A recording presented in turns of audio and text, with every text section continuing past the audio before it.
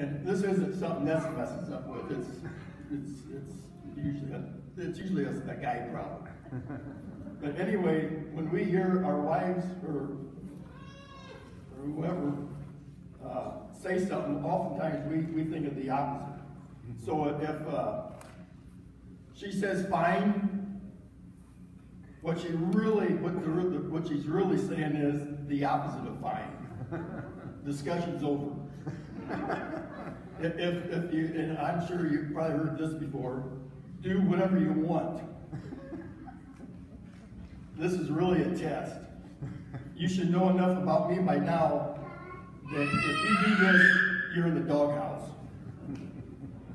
And I'm sure, in fact, I almost heard this this morning. I'm almost ready.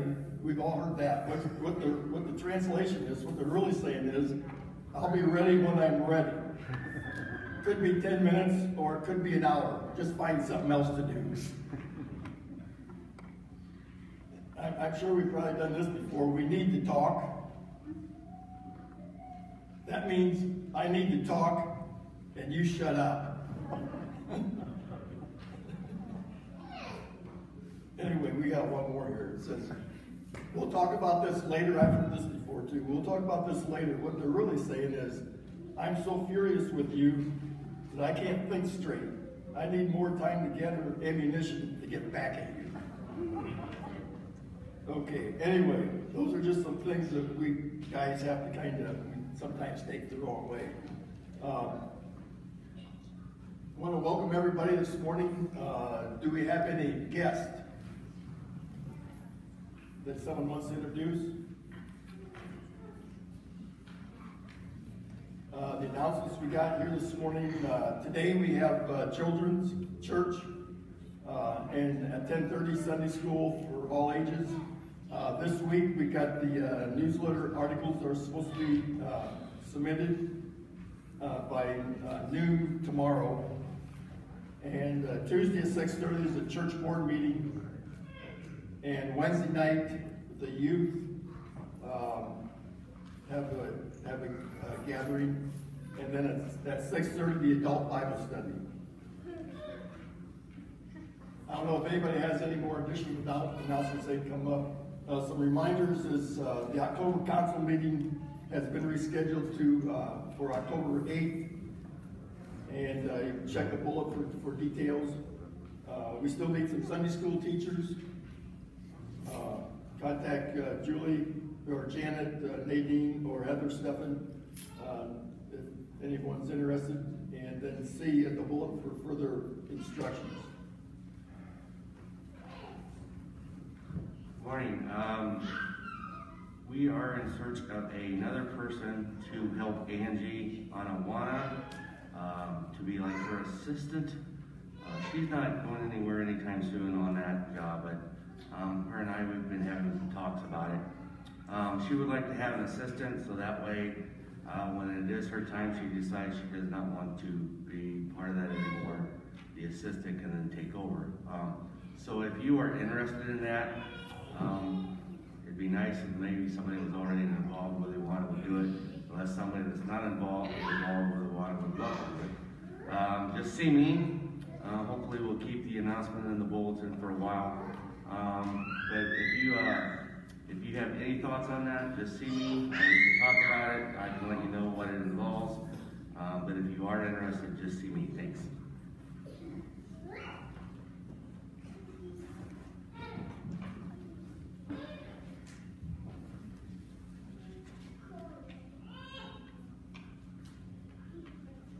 We will continue to, we will continue to worship as we listen to the prelude.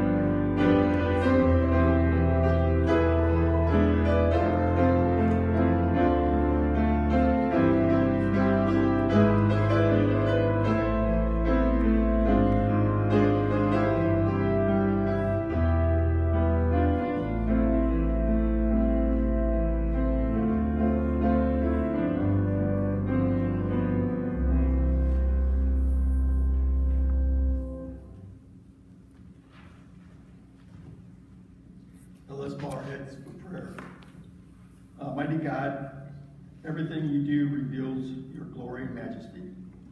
Open our eyes to see what you are doing in our lives. Let us marvel at your good gifts and your wise provisions. Your acts are amazing. We cannot comprehend the number of blessings you pour out on us from day to day. As we gather today, we pray that we will fill our hearts and our minds and our souls through Jesus Christ. Amen.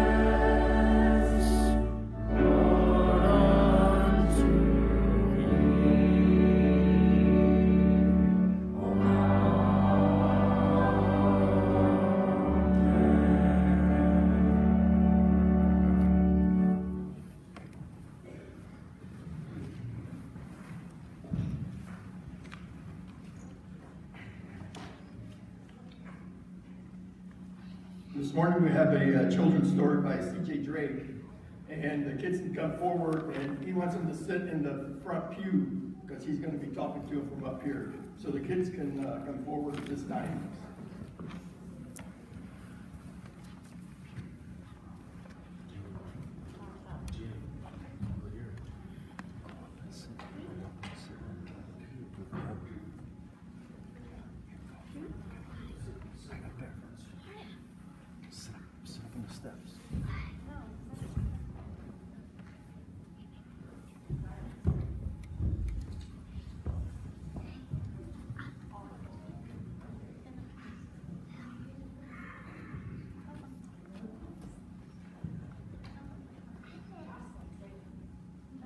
Good morning. Today, um, I'm today we are going to be talking. Today we are going to learn about how God helps us through difficult times.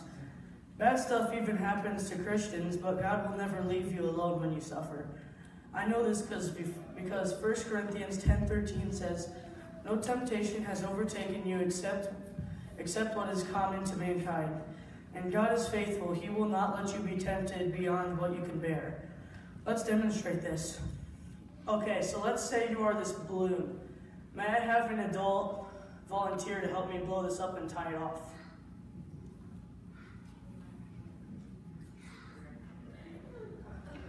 Thank you.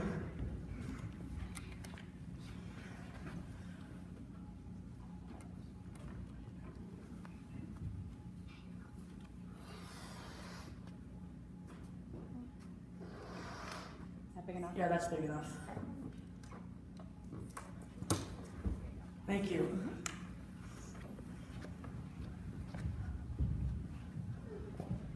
So this is a see-through balloon as you see.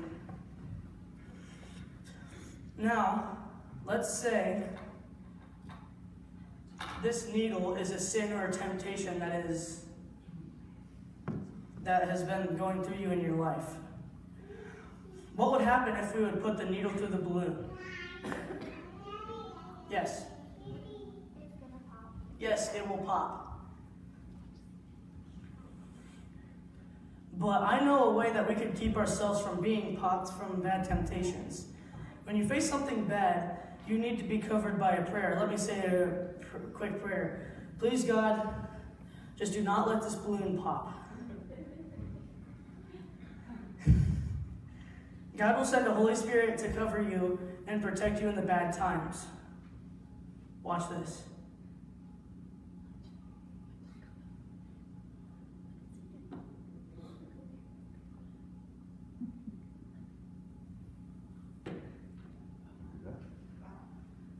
See?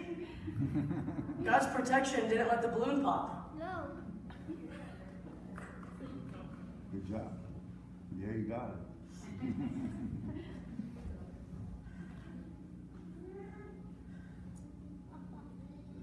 I can even pull it down in the yard.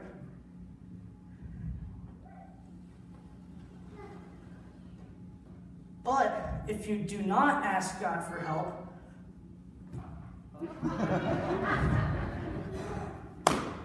you'll pop. Oh.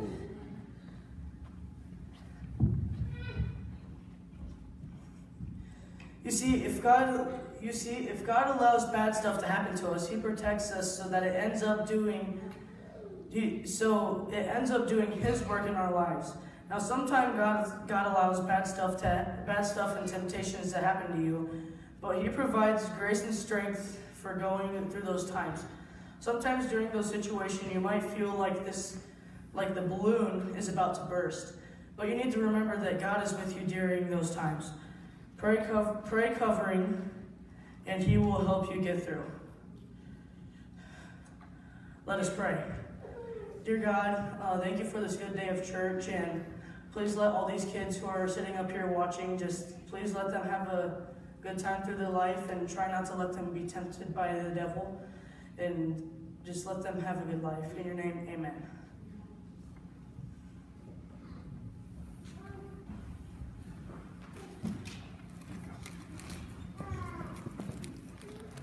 Thanks, Bruce.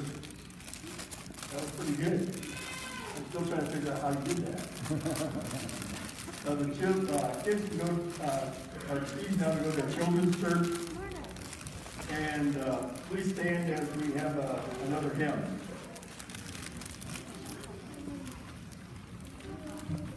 To three hundred,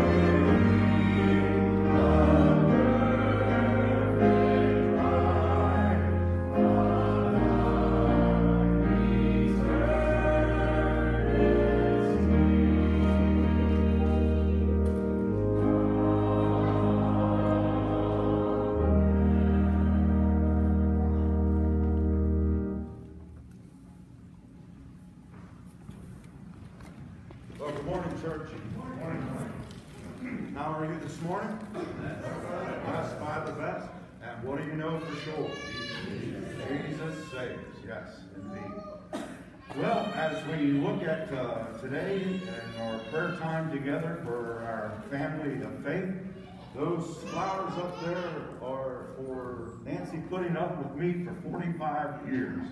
Uh, so that's been pretty amazing that she's done that, and I'm so thankful. Uh, you know, I, I didn't really have a clue. I think we were married 15 years, I uh, said something. Uh, I think we went away for our 15th anniversary, and I got some flowers. I said, for 15 good years, and she said, they weren't all good. And, and she was serious. Uh, it was, wasn't a hit, Randy. it was the truth. Uh, so I'm so I'm glad that she uh, did put up with me. That's for sure. Um, the, this seems like our church family's had a lot of loss of life. Uh, we want to pray for the Beachy and Miller families. Their loss of Louis. Uh, Louis is Merv's bro- was Merv's brother-in-law.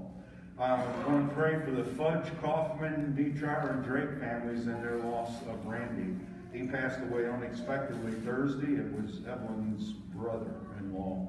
And I think Randy was and his wife were missionaries. Uh, many of you know them, I think. Then uh, our sister-in-law, Tina, lost her husband, or I'm sorry, her father, um, Burl. And um, so it seems like our family's been getting hit some too. He was at the doctor, and the doctor said, You are fine, and he died getting in the car. So you just never know. and just better be ready, as we talked about. Um, Nancy told me this morning that her sister Kay is not doing well at all, and she needs to go back to the hospital. And Kay's husband just can't take care of her anymore, so they're trying to find assisted living, and they're not being very successful. Um, it's not not many openings, is what they're finding. Um, we've been praying for Chloe, a friend of the Griffith family. And here's an update. She needs to be closely monitored with scans. She will not need chemo or radiation, but there's a possibility that the tumor was secondary cancer and not a recurrence. So we'll just continue praying for that. For those of you who prayed for my sister, she does not have to have additional surgery. That would have been a mastectomy. Uh, she and she was prepared for that, but um, she doesn't have to have surgery. I think she said four weeks of rest, and then she'll have to have some radiation. Um, Brett uh, expressed um, a concern for his family. Um, Bryce and Allie and Colt, I think I have the names right, uh, were in a car accident when a semi um, hit them, and that's never good, semi versus car, as you know. Uh, but uh, Bryce was hurt the worst. Uh, he had uh, broken some, had some bones broken, and uh, he went home, but he had surgery then, and uh, hopefully he's on the mend. Uh, Allie had a lot of bumps and bruises, but praise God, that seems to be all for her. And those car seats that we put those little ones in are amazing. Cole had nothing wrong at all. So we're thankful, and we're, you know, we just never know when we go out on the road. Um, you know, we get concerned about different things, and, and as, as well we should, but just simple things that we take for granted that we can do can end up coming back to uh, give us trouble. Let's come to the Lord in prayer.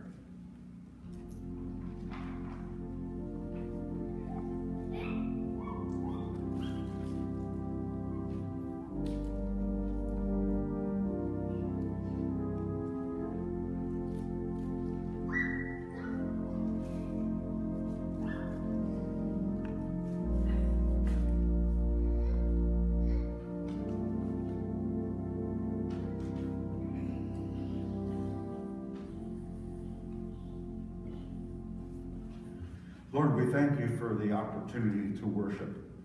And we thank you for the music we have in worship. Sometimes we can almost take that for granted.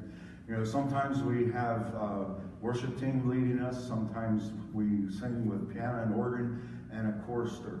And it's pretty amazing what you've allowed our voices and instruments to do. And just want to thank you for the music again this morning. Uh, one of the perks of working here is to hear uh, practice going on. So I heard these beautiful songs several times this week, and I thought, wow, they are so pretty and so beautiful. And we thank all those, whether they're choristers or pianists or organists or uh, part of the worship team, you know, just help us. I know we can get caught up that maybe music's too much, but music is certainly part of worship. And uh, I, I, thank you and praise you, God, for the balance that you've given to, to this congregation.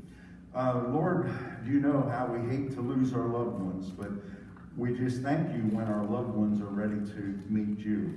But we just uh, lift up the, the Beachy and Miller families this week, and the Fudge, Kaufman, Neetrower, Drake family, and Henry Thompson, Godfrey families. And Lord, uh, that's just people that we know of. And every day there's many obituaries and there's many people going through times of loss and not all of those people are saved. So we just pray and ask that you would comfort the people that are left behind, the families that are left behind. Uh, just be with Kay. I know Nancy's far away from Kay and she would love to be closer and be able to help out, but it's just not possible where they live. Uh, so we just pray that, that uh, you would be with Kay and, and uh, that she would be able to, to handle what's going on in her life a little bit better. But when we have dementia and that types of things, you know, our, our thinking changes so we can become quite different than what we were before. Lord, we ask you to be with Chloe as uh, she has a lot going on. She's a young gal, and, and hopefully she can keep a positive uh, look outlook on this. And thank you, Lord, for being uh, watching over the Whiteheads in uh, an accident that could have been lots and lots of tragedy. Not the broken bones and the destroyed car and things like that aren't, aren't tragedies, they are. But they can be replaced. Uh, but we're thankful for the lives that you saved through that. Uh, Lord, we pray for uh, the Church of Brethren. We pray for uh, the Covenant Brethren Church as they meet for uh, their first annual meeting next week. And, And uh, Lord, there's a lot of lot of things going on right now, and just help us uh, be aware and and uh, know and show us how you would have us uh, react. Um, we pray for our church leaders. We also pray for our leaders of the country, and we know that um, uh, voting is coming up here, uh, vote, voter day, you know, pretty pretty quickly. And Lord, you know how this is all going to turn out and help us no matter what the outcome, uh, instead of help us not get angry or that type of thing, but just to know that you've got this. You've got it under control. We, you don't need our help. I know we think you do, but you don't need our help at all. And uh, everything is happening for a reason. And the ultimate reason is, as we're told in Romans 28, for your honor and glory. So help us remember that. And, and to understand that a bad thing, when bad things happen, you can still make it for your good. Lord, we pray for those who are in uh, military, whether they be at home or away right now. Uh, for the policemen, Lord, just be with all their families the first responders, um, you know, all those who, who are running toward the tragedy when the rest of us are moving away. Um, and Lord, we know that we can never include everyone's prayer. Uh, some people choose not to share, and that's fine too, but they have uh, private unspoken requests. So hear us as we lift those up.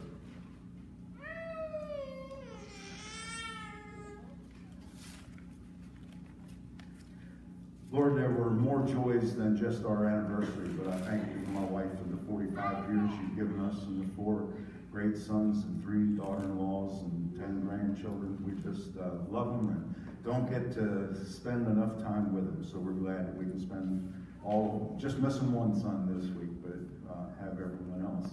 And Lord, uh, I'm not sure I publicly thank everyone who helped us move. And people were saying, are you getting used to it? Well, I found myself walking toward the parsonage the other day. It's the oddest thing. It's the longest place that we've called home in our, um, in our marriage and family. Uh, so it's almost with sadness I look at when it's dark in the evening and when I leave and think, wow, all the life that was happening there and that quick, it's all moved. So uh, yes to those who said, are you finding stuff that, that uh, you didn't know you have? Yes. Have we not found stuff we know we had? Yes. so, uh, but we're, we're still looking and, and we just thank you again, Lord, for all the help that we've had doing that. So, Lord, uh, as we continue on in, in this worship service, may your name be lifted up. And as we look uh, look at guys, uh, I hope that, that we'll all pay attention, even though when we have for guys message and for gals, both can learn. So I hope that both will listen. In Jesus' name, amen.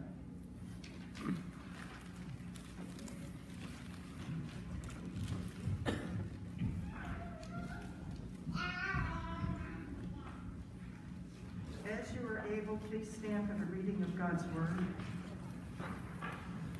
The book of Ephesians, chapter 5, starting with verse 25.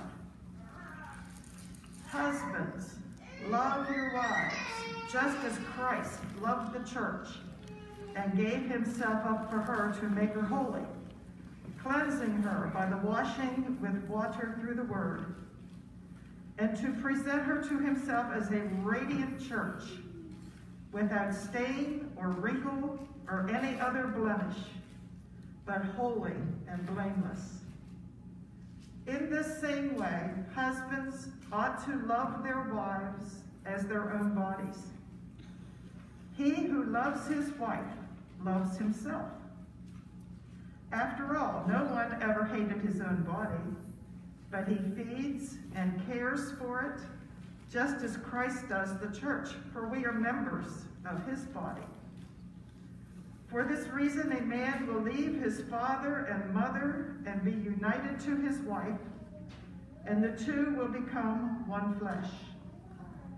This is a profound mystery, but I'm talking about Christ and the church. However, each one of you also must love his wife as he loves himself, and the wife must respect her husband. The word of God.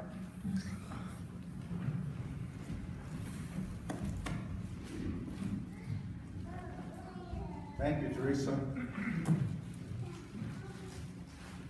Okay, ladies, last time we talked about submission and your role in that, but never fear, this is the guy's turn, uh, to look at what our family role is and, and what our submission responsibilities are. And you might like it that there's three times as many verses for guys as there is for gals. Let's pray. Lord, may the meditations of my heart and everything that I think and say be found acceptable in your sight. If it's not, Lord, you have the ability to stop before it gets out, and I count on you to do that. In Jesus' name, amen. Well, it's very easy, gentlemen, to focus so much on what we think our wife should be doing for us that we forget our own role. So let's take Ephesians 5:25 apart just a little bit. It says, "Husbands, love your wives." Okay, picture of my wife coming up here. Some people ask me who that is, by the way, and I tell them it's my first wife. Now that's the truth, right? So I shouldn't get in trouble. But don't you think it, it'd be easy to love her? I mean, she's so pretty. She's so beautiful. But you know, there's more than one kind of love, isn't there? There is three loves. Um, and there they are, Eros and Phileo and Agape. You see, if, if I'm going to marry Nancy for her looks, what's going to happen when the looks aren't quite like they were? What's going to happen for me when I don't look quite like I did? So, so it's a, a little more going on here than just the Eros love. Okay, so then we're told in the next part, just as Christ loved the church. Wow. Now that's getting a little, little deeper there. We know that, that Christ loved the church a lot. Again, three kinds of love. You know, I found that the one person says there's four. There's a family love too that they put in before phileo. So just to know that, that that's out there, I don't know if it's exactly right or not. But the phileo love is more like a brother-sister love, that we care for each other. Okay, not you're not ready to marry everybody you meet your friends with, uh, but we, have a, a love with them too. And then the next part kind of gets kind of scary. It says that, that Christ gave himself up for her, the church. And that, that doesn't sound so simple, does it? And it almost sounds overwhelming. And, and, and then we have to think, well, how much love is that? Well, that's where it took him. It took him to the cross. And that is the agape love that we are asked to have for each other. So, ladies, I will admit at first glance, submitting to male headship seems to belittle you. But always remember, ladies, that Christian headship is different from the world's.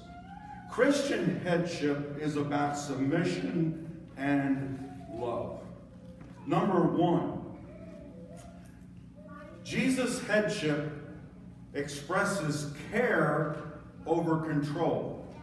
Okay, rather than control Nancy, I'm going to express care. And if I'm doing something that's hurting her, uh, I'm, I'm going to back that off. Care is over that. And responsibility over demands. You know, I can make all kinds of demands and probably often do um, to my discredit.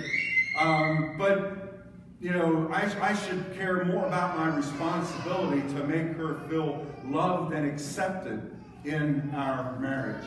And then uh, healthy spirit led uh, relationships are not concerned with power or control. You hear that? Hear that? We are not in this to decide who has the power. And guys, you know that when we are somewhere and we need to leave, and we have to say, we say that, well, you know, my wife's accept, expect me home. What are we told? Oh, I can see who the boss is in your family, you know? And, and we make it worse for one another. Like, uh, what's she going to do if you don't go back, you know? And instead of saying, hey, God bless you, good, you're doing what you should be doing, we try to make it worse on each other sometimes. Okay. Um, when you think about submitting, and when you think about the command to love as Jesus does, that's not an easy thing either. How can you and I love our wives as Jesus loved his wife, the church? Very difficult. But never forget, gals with submission, you have a helper. You have a helper to help you learn to submit. And guys, we have a helper to help us love like Jesus Christ. And of course, that helper is the Holy Spirit.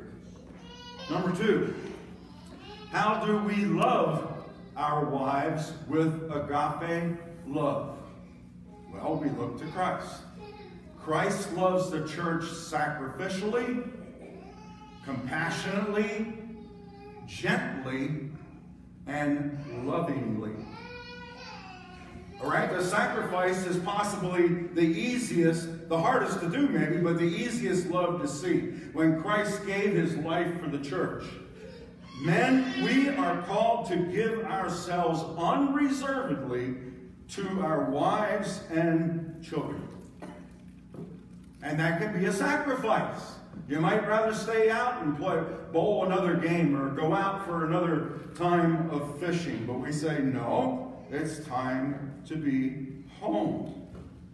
Now, now what we need to understand here is that compassionately, we say, well, love and compassion are the same thing. Not necessarily. If, if I go out the door and Nancy says, I love you, and I say ditto, or she says something else and I say, yeah, back at you. She wants to hear, I love you. She wants to hear the compassion in my, my voice. You know, I tell you when I do wrong, so this time I think the Lord re reminded me of something good. On our anniversary, he said, Tightwad, call the florist. And I did. And I got her flowers. And she loved that. And, and she felt if I would have just said, well, she said, I didn't get you anything. For I don't know how many years of our marriage, she's been getting me stuff and not getting anything in return. So I, I, I felt guilty. I said, don't get me anything. So this time the, the tables were turned, but she loved that. And that was a way of showing compassion. Gently. We can love in a rough way. Uh, sometimes we, maybe with our children, we throw them around, wrestle them and carry on. Um, my wife would always say, you don't know how strong you are. And, and what you're doing hurts. So, so we need to love gently. And then uh, we need to love, I can't read my own writing. What was that last one? Uh, lovingly, lovingly. Love lovingly. Um, you know, again, let have you ever told your wife you cherish her? That, that's what I think, you know, use loving talk. Loving talk. Uh, well, I see you got the wash done for once. Isn't going to cut it. uh, but wow, you, you did all that today and, and, and got that done, and, and you still had time to make your supper and, and things like that. So that's what we're talking about when we talk about love lovingly. Now, Guys, these are not suggestions, okay? These are commands. And you might say, well, I thought all the commands were in the Ten Commandments. Well, you might wish so, but that is not it. There are many scriptures that are given as commands.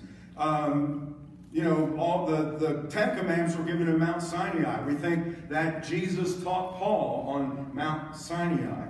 But what they have in the Bible are still scriptural commands. We're not going to look it up, but I want to give you an, an idea. We're told to pray without ceasing. That's a command. We are told to resist the devil. That is a command. We are commanded to forgive one another. And we are commanded to flee from temptation. Number three. Guys, agape, that means love, God's love.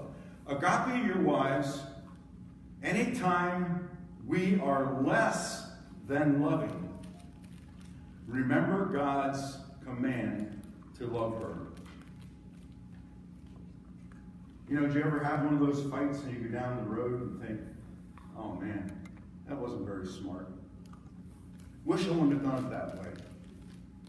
You know, sometimes we don't get a chance to make it right. A lot of times we do. But there are some people that are separated in that way eternally because of an accident or a health act or anything like that. We, and I, I try to teach this in, in pre-marriage classes, ought have the idea that wife, Miss Missy, whatever her name is, Nancy, you cannot do anything that would make me not love you. What can separate us from the love of God? What, what do they say? What's the Bible say? Nothing. And that's how it should be with our wives. There is nothing. It doesn't matter if we think, if I think Nancy deserves love or not. That's not what it's about. It's about that we are commanded to love. I don't know if this is kind of a little bit of, of uh, tidbits or, you know, I just thought it was interesting. Number four, do you realize that men are commanded to love our wives? And guess what, gentlemen? However, the wife is not commanded to love her husband. Now, you might say, that stinks. Does that mean she's just free to take off and she's just free as a bird to do whatever she wants? She can leave us and it doesn't matter? No. Well, you know what it really shows and what it means? That if we love our wives the way Christ loves us and his church, the makeup of a woman is such that we will never have to worry about her running away from that love. What do women run away from? Sometimes abuse, a lot of times verbal abuse, a lot of times not being appreciated. Okay? But if we love like Christ loves, she will automatically love us, and no one will have to tell her how to show love to us. All right. In, in verse 25, kind of summarizing, summarizing it up. Husbands, love your wives just as Christ loved the church, and he gave himself up for her. Now, why did he do that? Why? Because now the Holy Spirit's going to turn to the husband's spiritual role. So, guys, we have a physical role, we have a spiritual role in the care and the maintenance of the home. And this would be believing homes, folks. It's not going to be this way lots of times in unbelieving homes. So, what we're trying to do in, in uh, 26 to make her holy, cleansing her by the washing with water through the word. Oh, man, we're supposed to make our wives holy? How in the world can I make anybody holy? I can't. You can't. But we can introduce you to the one who can declare that we are holy. Now, if you do any looking at Jewish literature, Jewish, uh, the Jewish Bible parts, Cleansing was such an important part of their worship. Washing rituals. They had everything like that. Then John the Baptist comes along and says, here's the cleansing you need, water baptism. But now, as we go to God's Word in this church age, we are talking about being cleansed by Scripture. You ever think about that? That you're cleaning up your life when you read your devotions? I believe this is telling us, because it says to make her holy. Guys, I think this is telling us that we are the home Bible study leader. All right? Now, that doesn't mean that we don't exclude our wives and children. You might let them lead sometimes too. But we, the buck stops with us, gentlemen. And, and I challenge everyone that's becoming a new member to get into personal study now, and then when you have your family, have family study. We didn't have that because of this contrary Dunkard. But praise God, Nancy taught the boys, and they knew maybe more about the Bible than I did. So, going through this world that we live in is going to dull our conscience. You know, when, when we, at the butcher shop, when we were skinning and stuff, if you hit teeth, like if you're skinning in a head, and I don't want to gross anybody out, but anyhow, teeth, cattle teeth, hog teeth, that takes the edge right off the knife. You may as well just quit using that knife for the day until you sharpen it again. Okay? So, we go through all this junk in life and it dulls our spiritual life. It dulls our conscience. After a while, we find ourselves thinking that something that we thought was pretty bad isn't quite as bad as we thought anymore. But it is.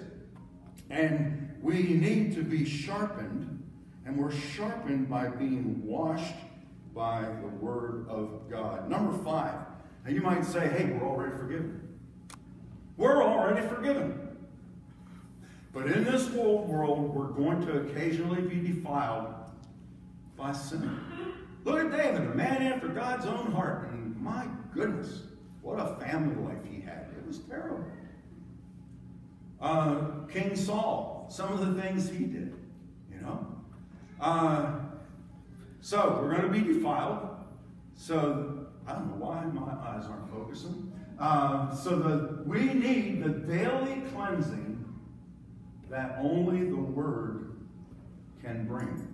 And folks, I will tell you, like I tell the prospective members, if you're not doing personal Bible study, start. Start. You don't have to do a half hour. You don't have to do an hour. Start. Start for five minutes. Do something. Read the daily bread. And then, if you know, that gives you one uh, verse and a story. And when you're ready to tackle it, it also takes you through the Bible in a year. And if you want to just want to do half the Bible, you can just do the Old Testament part or the New Testament part. But if you are not doing this, do it. Do it now. Uh, this washing of the Word is the only washing that the Holy Spirit has Paul give us. Um, 1 Corinthians 1 14 to 17 the Corinthians were arguing who baptized them and whose baptism was best. And the Holy Spirit had Paul say this I am thankful that I did not baptize any of you except Crispus and Gaius. So no one can say that you were baptized into my name. Yes, I also baptized the household of Stephanas. Beyond that, I don't remember if I baptized anyone else. For Christ did not send me to baptize, but to preach the gospel, not with words of human wisdom, lest the cross of Christ be emptied of its power. Okay, you understanding that, what it's saying? Baptism is a symbol, folks. It's an important symbol. But baptizing doesn't save you. When you come up out of the baptismal, you're not suddenly saved. And, and Paul was baptized. When, when he was Saul, one of the first things that happened was baptized. But, but he realized very shortly that the spirit baptism was what he was supposed to be teaching and bringing people to a point where they would say yes to Jesus, offer his sins or his blood for their sins. And that was what was important. And he says here, with words of human wisdom, you know, if, if I'm just going to stand up here and tell you what I know and think, then I should, I should shut up and sit down.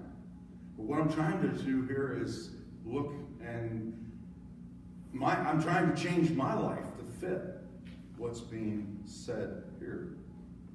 So, we're filled, we get filled with the dirt of the world, and we're washed clean by Christ's guarantees and promises that we find in the Word of God. So, what is this spiritual washing for? Verse 27 to present her. Now, let's keep the, uh, where we are here. We're talking about the guy to present his wife But, but now it changes a little. It says, as a radiant church, without stain or wrinkle or any other blemish, but holy and blameless. Okay, now we're going to back and forth here just a little bit before we move completely spiritual. All right, the Jewish bride, before her wedding, would have what was a ritual bath. And of course, that was so she was clean, um, but she also is, is presented then as um, a bride that is holy and blameless. Wow. Wow. We, we don't come to the marriage altar that way, do we? But yet we are if we are a believer. Because we've been declared holy and blameless. We're going to sing that about the church here in a little bit. But you might say, that's well and good, but, but how do I know when I've loved my wife enough?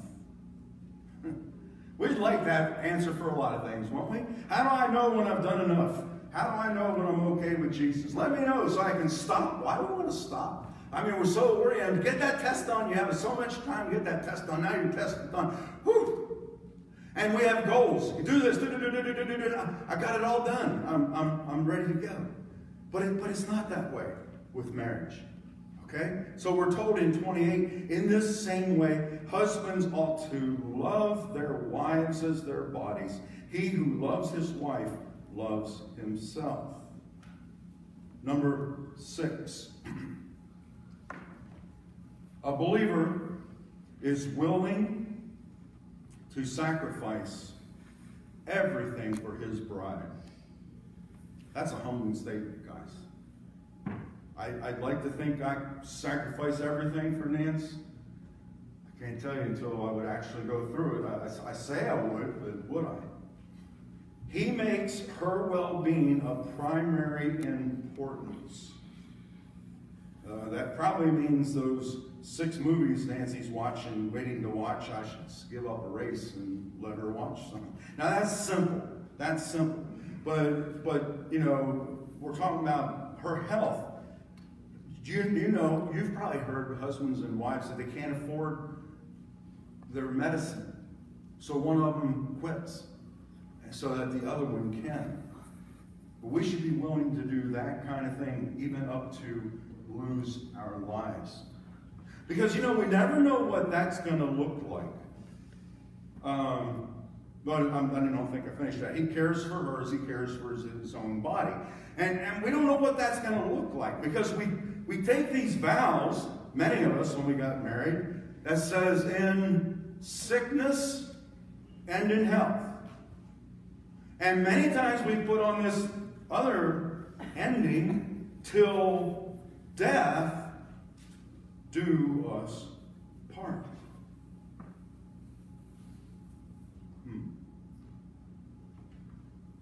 Now, this thing in uh, verse 28, this, this part that says, if you love your wife, you're loving yourself. You might think, well, then that's being selfish. Selfish. No, no, listen up here. Number seven. Guys, as soon as we see we are less than loving to our wives, we're going to notice it. We're going to notice a change. She's not going to be as responsive. What do I mean by that? If I'm treating like Nancy like dirt, I probably shouldn't expect a fresh made apple pie. All right? But when I treat her right, I can expect many loving surprises. I use this in pre-marriage counseling too. I grew up loving to have my feet loving to have my back scratched, where people would, you know, they'd go crazy getting all ticklish. I loved it. I loved it. I had three sisters, and I was older than they all were. So I'd lay at the couch and I'd stick my feet down there. Sister number one come in there. I'd say, oh, I think you ought to scratch my feet for about an hour. Sister number two, about an hour. Sister number three, about an hour. And then I'd take them to the movies or something now and then. You know, I kind of paid them back, I.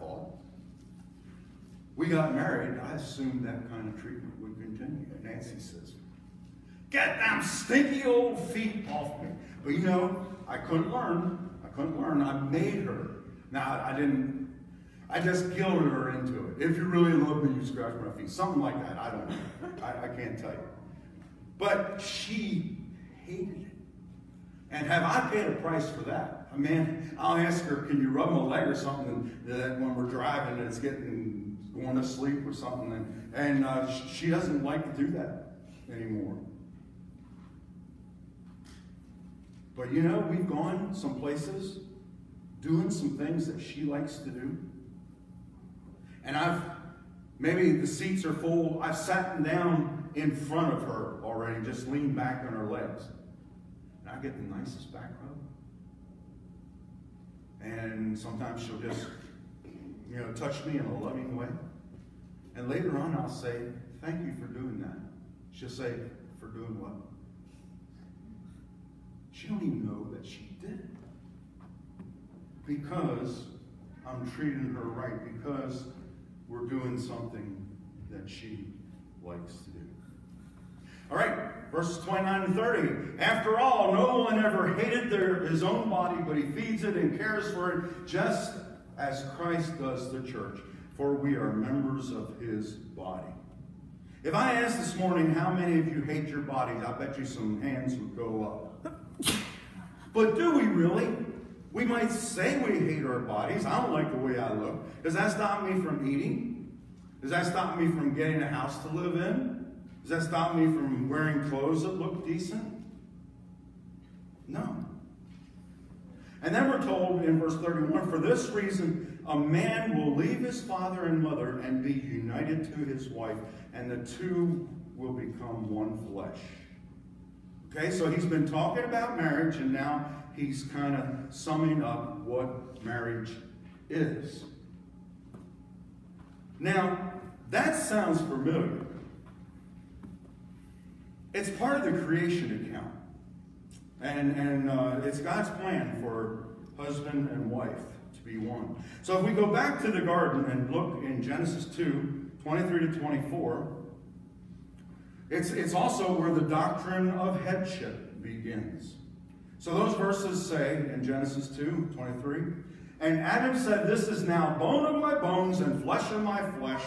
She will be called woman because she was taken out of man. Therefore shall a man leave his father and his mother, and shall cleave unto his wife, and they shall become one flesh. That is the first recorded marriage, folks. Uh, we don't know how many were in each side of the bridal party, and, and uh, we don't know if they had a unity, unity candle or if they did sand or no. No, that, that's not what's important about it. Marriage begins when God presents the woman, Eve, to the man as his wife. Then, and only then, do they take on the idea of the two becoming one and the command to fill the earth. And of course, that is through sexual intimacy. All right, that was approximately 4,000 years ago. No, 6,000. Approximately 6,000 years ago. Now we, we fast forward to 2,000 years ago. Jesus was asked about divorce. And we're not going to look it up, but it was in Matthew 19, 4 to 6. And, and he said, uh, well, you know what? Back in Genesis here, we, the father and I, we had an idea, and we came up with this idea about how the, the groom should leave his home and then be joined with a wife. and have, But you know, that was so old, we have to have a new way. In your Bible, any of your Bibles? No. He came, he goes right back to that Genesis account and says the same thing. It has never changed through history. It is as valid today as when it was given. So we know the two become one flesh through physical intimacy. Now, when we talk about two becoming one flesh, that doesn't mean that a person loses their personality and uh, through each other, but you will change each other's personality when you get married. But the truth that we're hitting at is number eight that marriage oneness. Each person cares for the other as though caring for themselves. Okay? Now that's one thing. Now it goes a little further. Learning to anticipate the other's needs, helping the other reach their potential. Guys, we, we pay attention. If we see our wife's going to need to ketchup or, or something like that, we get it ahead of time. If we see that, that she's ready for her dessert and the dessert's not on the table, we get it and we put it on. We anticipate those needs. This union merges two persons in a way that little can affect one without affecting the other. If your wife is sad, you shouldn't really be out having a party. Maybe some of her family died, maybe a friend died. No. And, and if you had a lousy day at work and, and maybe you got put on probation or something, your wife does not rejoice about that, but she has compassion. Now, here's where the switch is made in 32 from marriage to the church. And hopefully I can explain this, that you'll understand. Uh, so 32 says this is a profound mystery. Probably better translated now as a mystery because we didn't understand it yet. Uh, Paul hadn't given this mystery the meaning of this mystery. And again, it wasn't something that God was trying to keep from us, but it wasn't time to give it till right now. So a better translated, profound truth. So let's say this is a profound truth that I'm talking about Christ and the church. All right? Marriage ingredients. Let's look at those just a little bit. Mutual love. You know what mutual means? Going both ways. Loyalty. Husband's loving leadership with wife's loving submission. Intimacy. Self sacrifice. And oneness. Now, God and Jesus here and the Holy Spirit are talking about a marriage, but not a marriage like that we would go to for our cousins or, or someone in our family. It's talking about a future wedding, the wedding of the Lamb of Christ. And, and Christ looks at the, the human marriage and shows what his church and his relationship is going to be in his church. He says, I want you to have that in your marriage. I want you to have that in your marriage. So that you and I honor Christ when we don't give up on each other, when we anticipate the other's needs, when we um, help each other out. When we want, this said that you want the best for the other. How many of you know people who have both wanted to go to college, a husband and wife, they can't afford it? So the wife will say, or the husband, I'll work for several years, get you through college, and you can work and get me through college. Sometimes they don't follow up on that, but that, that is looking out for the other. Do you think Christ is looking out for his church? Absolutely. Absolutely. The Holy Spirit sums up his marriage guidance in this way, verse 33. However, each one of you must love his wife as he loves himself, and the wife must respect her husband. How about those two words, folks? Love and respect. Respect and love. They are a must for the believer's marriage. And can you imagine how many marriages could be made healthy and strong if both husband and wife would fulfill these simple yet thoughtful instructions? The divorce rate would head south as we live out and follow the examples that are given. Number 10. The husband and wife who love and respect each other have a healthy marriage and a great atmosphere to raise a family. Guys, you know where our children will learn to respect their mother? By watching how we treat their mother. And when you treat mom like she doesn't know what she's doing, she's a little bit goofy, you know what? After a while, the kids are starting to say that same thing. That is not helpful in any relationship, but for sure in marriage. Let's pray. Lord, thank you for giving us the church and your relationship with the church. And you want a glorious church without spot or wrinkle, washed in the blood of the Lamb. You made it possible. Lord, marriage is still the way you want man and woman to live together. Even though it's approximately 6,000 years old, it's still the way. So help us, Lord. Help us. If there's anyone here this morning that are having some issues with their marriage and you just want to let it that way quiet or you need you'd like your marriage prayed for you can call in and talk to myself or Angie and just say I have an unspoken request and we can put that in if there's anyone that needs to talk needs more to, to work on their marriage I'm not uh, a certified counselor but I can certainly listen and, and give some ideas and and refer if if someone needs more than I have to offer and I don't feel bad about that at all if someone goes somewhere else. So as we think about that, you know, Lord, it, it all comes down. We're going to act like a Christian husband or a Christian wife if we are a Christian. So finally, if someone has never made the proclamation, Lord, that you are their Lord and Savior, I would help them with that too. Not, I'm, I'm nothing special. I'm just a servant of the Lord trying to, to help people understand Scripture and see what's being asked of us. We give you thanks in Jesus' name. Amen. You know, Glorious Church, I guess we've never sung that since I'm here because I had to make up the, uh, the words for it. I mean, the sheets for it. So let's sing. I hope you know it. And we don't want any spot and wrinkle. We want her smooth and glorious. Please stand if you are able. It is number 350.